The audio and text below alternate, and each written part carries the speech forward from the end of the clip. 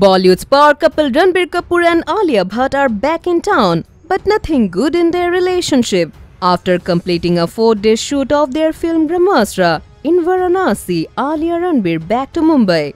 The couple was papped together at the Mumbai airport. Alia kept a simple no-makeup airport look as she donned an elegant white salwar suit. She rounded off her look with a pair of heels and a handbag. Alia looked gorgeous with her hair open. Ranbir looked dapper as ever in a dark blue shirt. He wrapped up his effortlessly stylish look with a pair of blue denim pants, a cap, and a pair of sneakers. However, fans pointed out that Alia looked a bit sad. One user wrote, Is it me or she really looks sadder now?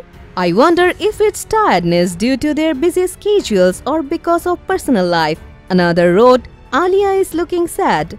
Earlier had reported that the couple will be present in the city for the shoot of a song and a few important scenes. The report cited a source with inside knowledge of the shoot. The source had revealed that the four-day shoot will happen in Varanasi and that director Ayan Mukherjee had already arrived in Varanasi to prepare for the shoot. The couple has interesting projects to look forward to. Alia is currently shooting for Rocky Aur Rani Ki Prem Kahani.